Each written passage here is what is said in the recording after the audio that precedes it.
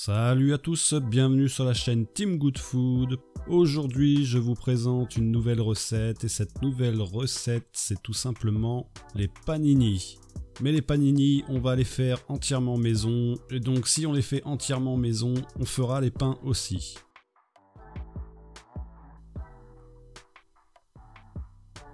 Donc on est parti et on commence du coup forcément par le pain. Donc pour commencer, on va mettre 500 g de farine T55. Ensuite, on va mettre une cuillère à café de sucre et une cuillère à café de sel. Ensuite à ça, on rajoutera 5 g de levure sèche. On rajoutera aussi 2 cuillères à soupe d'huile d'olive et 30 centilitres d'eau. Une fois que tous les ingrédients sont ajoutés, il ne reste plus qu'à mélanger tout ça au crochet ou à la main si vous n'avez pas de robot. Et on mélange bien pendant 10 minutes.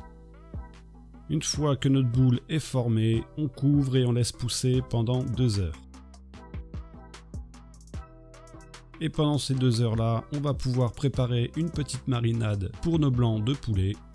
On va prendre quelques gousses d'ail, ces gousses d'ail, on va pouvoir les couper grossièrement.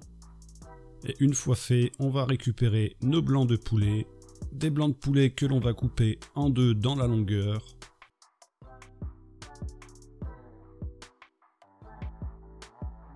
Et qu'on va pouvoir ensuite mettre dans un récipient, y rajouter nos gousses d'ail, de l'huile d'olive, un peu de thym, un peu de piment d'Espelette, du sel, du poivre, et on mélange bien le tout.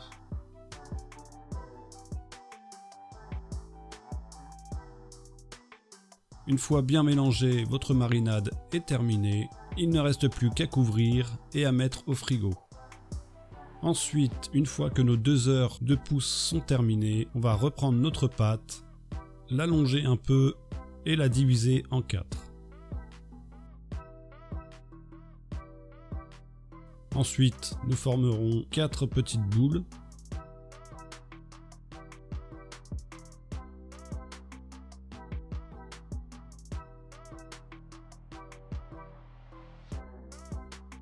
Et une fois fait, on formera nos pains en forme de baguette. Alors pour ça, on allonge un petit peu notre boule. Et ensuite, on replie une extrémité sur l'autre. Et on fait pareil de l'autre côté.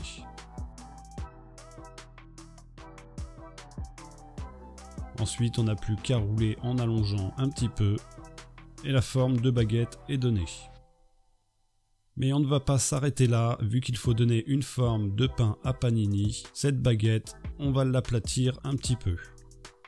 On l'aplatit pour lui donner la forme, mais on essaie de garder une épaisseur d'environ 1 cm. Donc n'hésitez pas à y aller gentiment. Et une fois la forme donnée, il ne vous reste plus qu'à réaliser la même opération sur le reste de vos pâtons. Une fois que c'est fait, on pose nos pains sur une plaque de cuisson avec une feuille de cuisson et on laisse pousser pendant 30 minutes. Au bout de ces 30 minutes, on pourra les enfourner à 180 degrés pendant 12 minutes. Vos pains ressortiront blancs, mais ne vous inquiétez pas, ils seront cuits.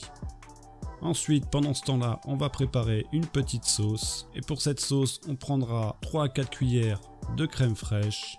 On y ajoutera une gousse d'ail, du sel, du poivre et de la ciboulette.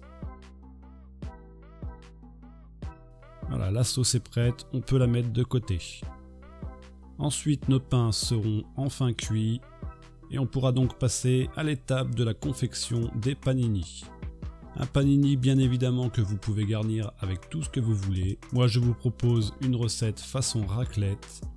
Donc je vais commencer par mettre ma crème.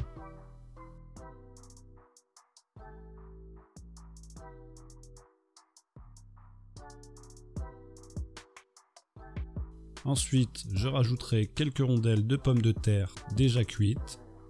Ensuite, je rajoute de la charcuterie.